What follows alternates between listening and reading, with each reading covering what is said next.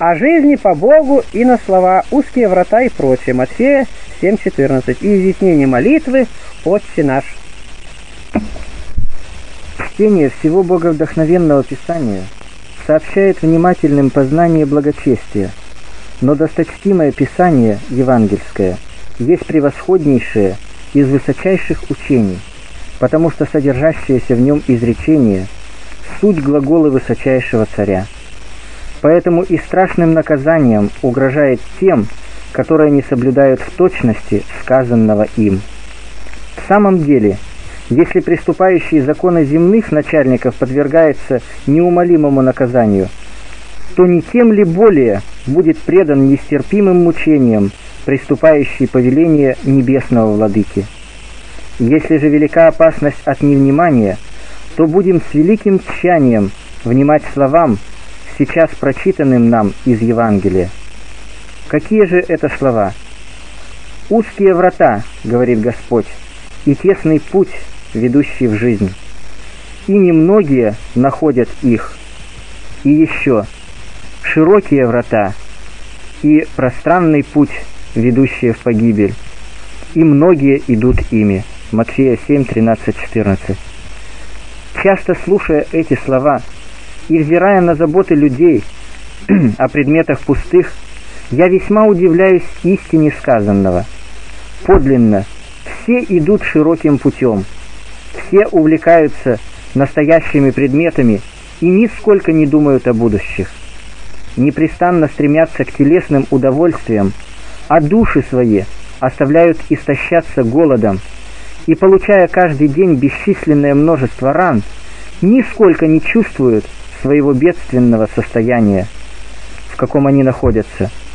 В случае телесных болезней ходят ко врачам, приглашают их к себе в дом, дают им весьма большие награды, показывают великое терпение и переносят болезненное врачевание, чтобы возвратить здоровье телу. А когда страдает душа, то совершенно не заботятся и не стараются возвратить ей вожделенное здоровье, хотя хорошо знают, что тело смертно и тленно, и подобно весенним цветам, потому что оно, подобно им, увядает, засыхает и предается тлению, между тем, как о душе знают, что она почтена бессмертием и сотворена по образу Божию, и что ей вверены бразды управления этим животным телом. Подлинно, что возница для колесницы или кормчий для корабля – или музыкант для музыкального орудия. Тем же Создатель поставил душу для этого земного сосуда. Она держит бразды, движет рулем, ударяет в струны. И когда делает это хорошо, то производит согласнейшие звуки добродетели. А когда или слишком ослабляет звуки, или напрягает их больше надлежащего, то нарушает и искусство, и благозвучие. Такою-то душой пренебрегают многие из людей, не удостаивая ее даже и малейшего попечения, а все время своей жизни тратят на заботы о теле. Одни избирают жизнь мореплавателей и борются с волнами и ветрами, нося с собою жизнь и смерть и полагая надежду спасения в немногих досках. Другие предпринимают труды земледелия, запрягая рабочих валов и возделывая землю, то сея семена и пожиная жатву, то насаждая растения и собирая с них плоды. И все время у них проходит в этих трудах.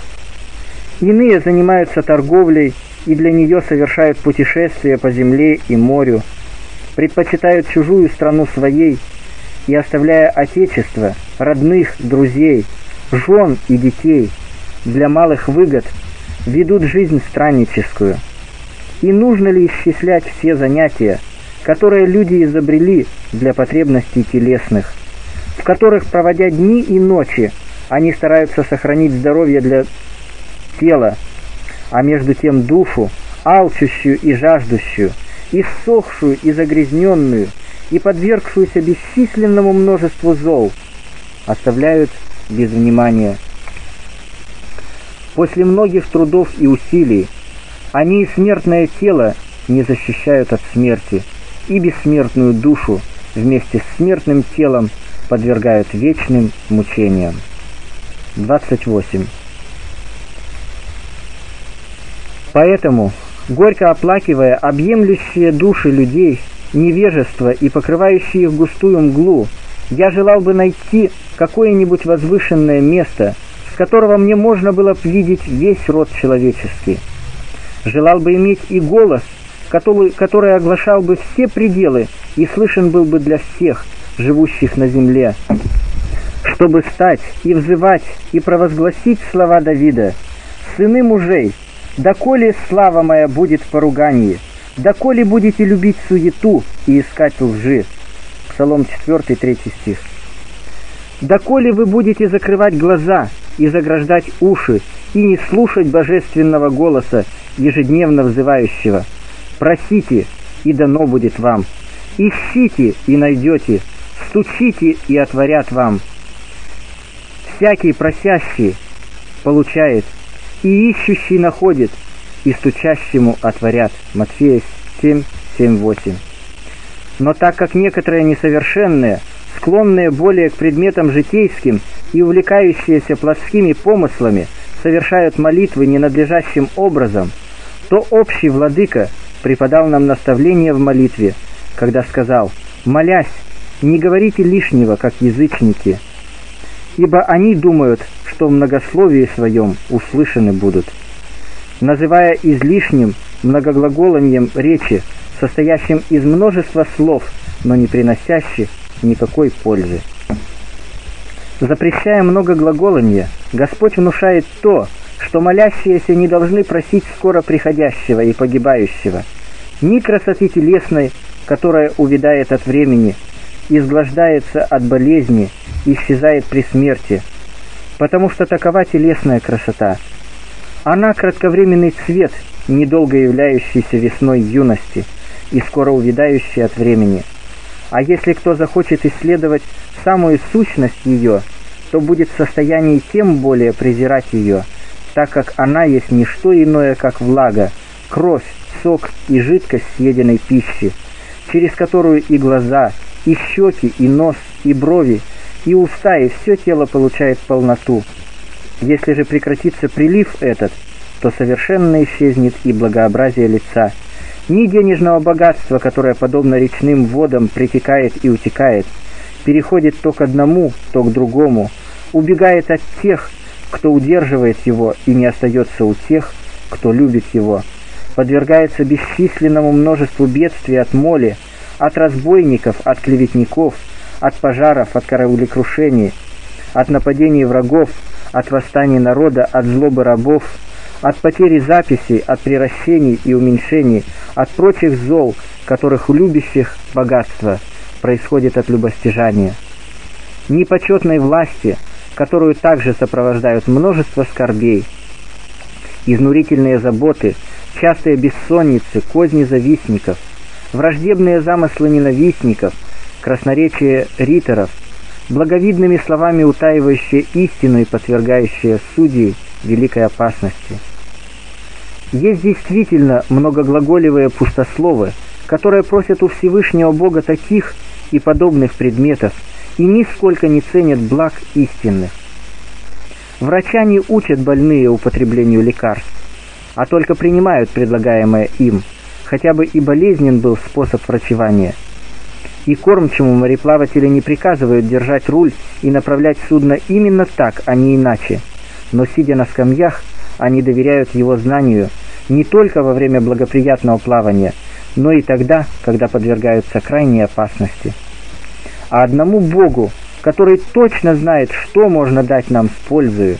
Люди, нездравомыслящие, не хотят предать себя, но просят у него вредного, как полезного, поступая подобно тому больному, который просит врача дать ему не то, что искореняет болезнь, а то, чем питается вещество, производящее болезнь.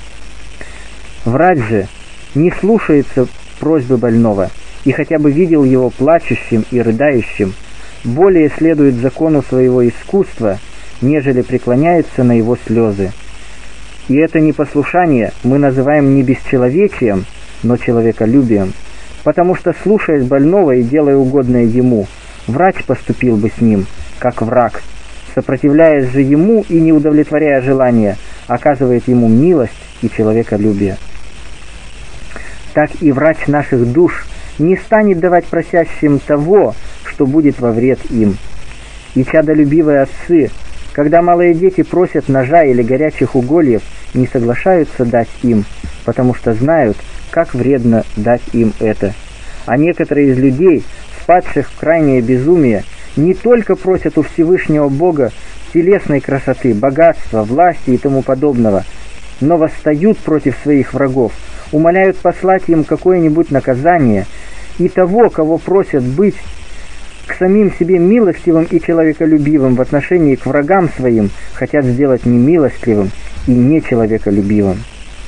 Господь, желая предотвратить это, заповедует не говорить лишнего, а внушает, что нужно говорить в молитве, в немногих словах, научая всякой добродетели, потому что эти слова заключают в себе не только наставление к молитве, но и руководство к совершенной жизни. 29. А какие это слова и какой смысл их, исследуем с великим тщанием и будем твердо хранить их, как законы Божии. Отче наш, сущий на небесах, о, какое чрезмерное человеколюбие! О, какая превосходная честь! Какое слово будет в состоянии воздать благодарность подающему нам такие блага?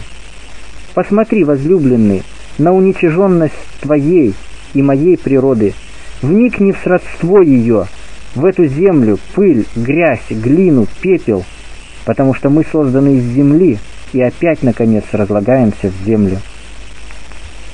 Представив это, подивись неисследимому богатству великой благости к нам Божией, по которой заповедано тебе называть его Отцом, земному – небесного, смертному – бессмертного, тленному – нетленного, временному – вечного, бывшему вчера и прежде грязью, существующего прежде веков Бога. Но не напрасно научен ты произносить это слово, а для того, чтобы благоговея пред именем Отца, произносимым собственным языком твоим, ты подражал его благости, как и в другом месте говорится. Будьте подобны Отцу своему Небесному, ибо Он повелевает солнцу своему восходить над злыми и добрыми и посылает дождь на праведных и неправедных. Матфея 5.45.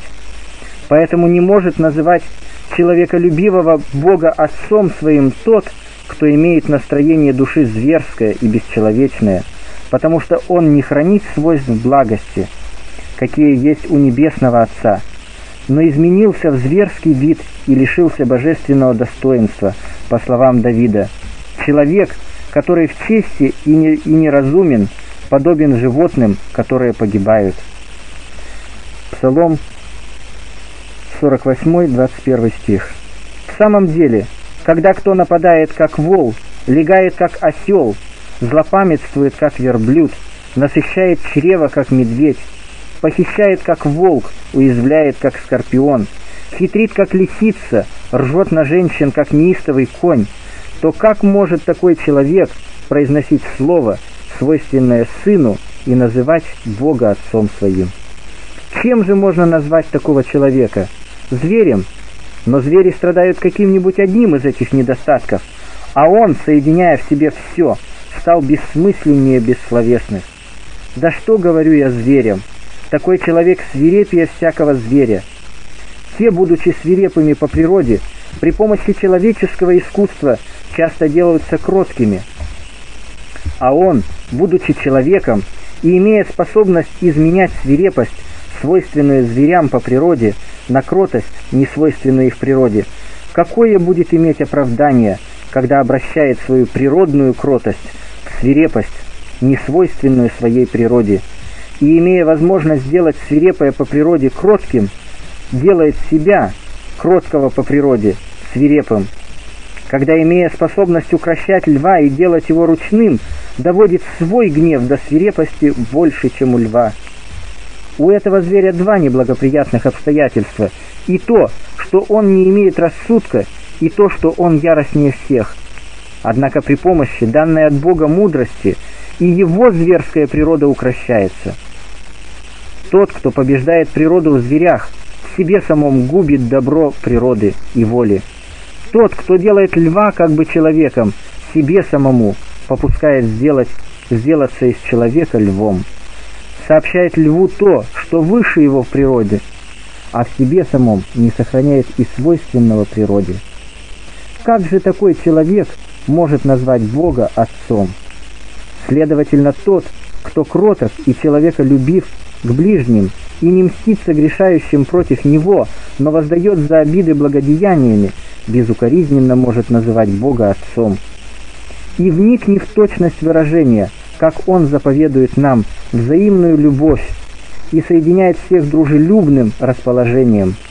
Он не повелел говорить «Отче мой, сущий на небесах», но «Отче наш, сущий на небесах», для того, чтобы, научившись иметь общего Отца, мы оказывали братское расположение друг другу. Притом, желая научить, чтобы мы оставляли землю и земное, и не преклонялись вниз, а взяли крылья веры, и, возлетев выше воздуха и поднявшись выше эфира, стремились к называемому Отцу.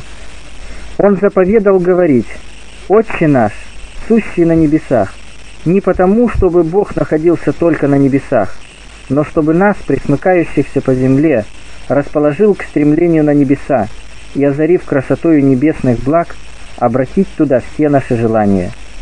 Далее он прибавил второе изречение, сказав «Да светится имя Твое». Впрочем, пусть никто не имеет безрассудной мысли, будто Богу даруется прибавление святости словами «Да светится имя Твое». Он свят, и все свят, и святейший святых, и серафимы произносят ему такое песнопение, непрестанно взывая «Свят, свят, свят Господь Саваоф, вся земля полна славы Его».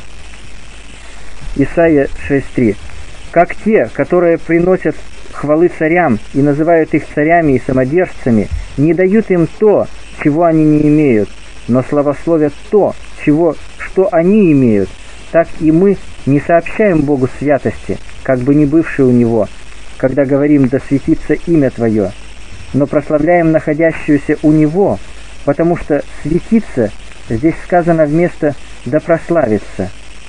Итак, научимся этим словом вести жизнь добродетельную, чтобы люди, видя ее, прославляли Небесного Отца нашего, как в другом месте Он говорит «Так да светит свет ваш пред людьми, чтобы они видели ваши добрые дела и прославляли Отца вашего Небесного».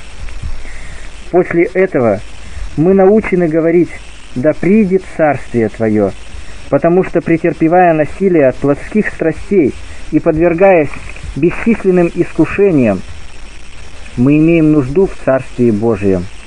Итак, да не царствует грех в смертном вашем теле, чтобы вам повиноваться ему в похотях его.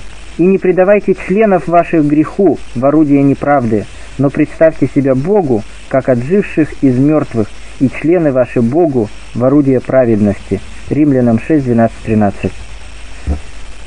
Кроме того, мы научаемся не слишком прилепляться к настоящей жизни, но презирать настоящее и желать будущего, как постоянного, и искать Царство Небесного и Вечного, а здешними приятностями не увлекаться ни благообразием телесным, ни обилием богатства, ни множеством стяжаний, ни драгоценностью камней, ни великолепием домов, ни званиями градоправителей и военачальников, ни багреницею или диадемою, ни яствами, сластями и всякого рода роскошью, но чем-нибудь другим из не чем-нибудь другим из предметов, услаждающих наши чувства, но отказавшись от всего этого, непрестанно искать Царство Божие.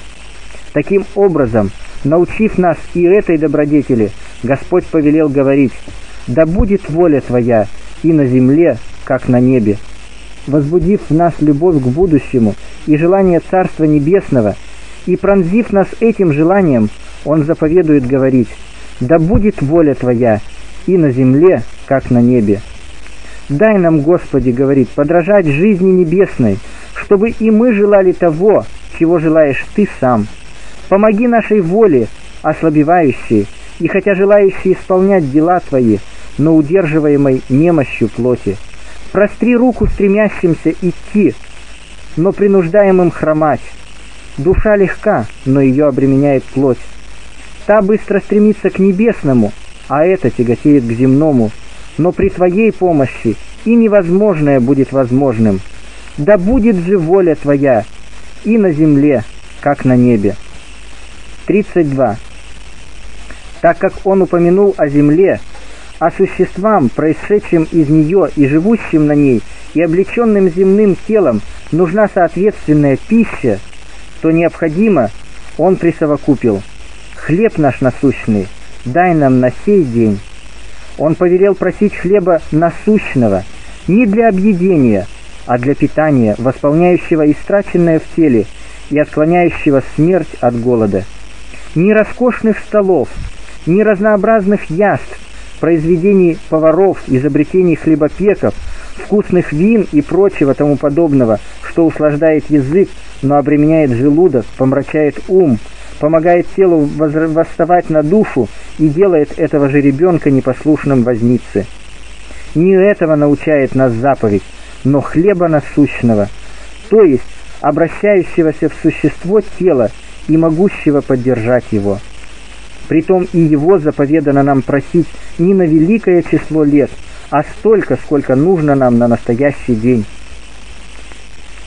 «Не заботьтесь о завтрашнем», — сказал Господь.